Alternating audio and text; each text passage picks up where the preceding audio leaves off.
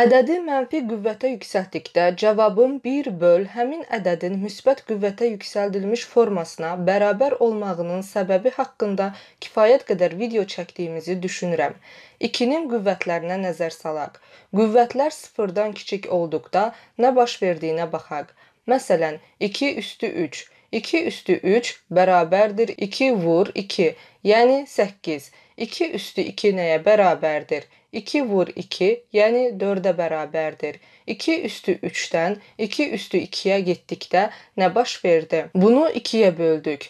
Davam edək. 2 üstü 1 nəyə bərabərdir? Bu 2-yə bərabərdir. 2 kvadratından 2 üstü 1 almaq üçün onu 2-yə böldük. Maraqlıdır. 2 üstü 0-a baxaq. Sıfıra bərabər olmayan bir ədədi sıfır qüvvətə yüksəltdikdə cavabda 1 alınır. Hər dəfə qüvvəti bir vahid azaltdıqda onu 2-yə bölmüş olurduq. Bunu da yenə 2-yə bölməliyik. 2 böl 2 bərabərdir 1. 2 üstü 0-ın niyə 1-ə bərabər olduğunu anladıq. Davam edək. 2-yə bölməyə davam etsək, 2 üstü mənfi 1 nəyə bərabər olmalıdır? Bunu yenidən 2-yə bölürük və cavabda 2-də 1 alınır. 2 üstü mənfi 1 bərabərdir 2-də 1. 2 üstü 1 bərabərdir 2. Bu, bunun tərsinə bərabərdir. Davam edək. Maraqlıdır.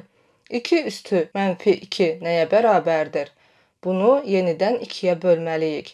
2-yə böldükdə 4də 1 alınır. Ümid edirəm ardıcıllığı anladınız. 2 üstü mənfi 3-ü tapmaq üçün yenidən 2-yə bölməliyik. 8-də 1 alınacaq. Yəni 2 üstü 3-ün tərsi. Bir daha qeyd edək ki, mənfi qüvvət müsbət cavabın tərsinə bərabərdir. Ədədi mənfi qüvvətə yüksəltmək 1 böl həmin ədədi müsbət qüvvətə yüksəltmək deməkdir.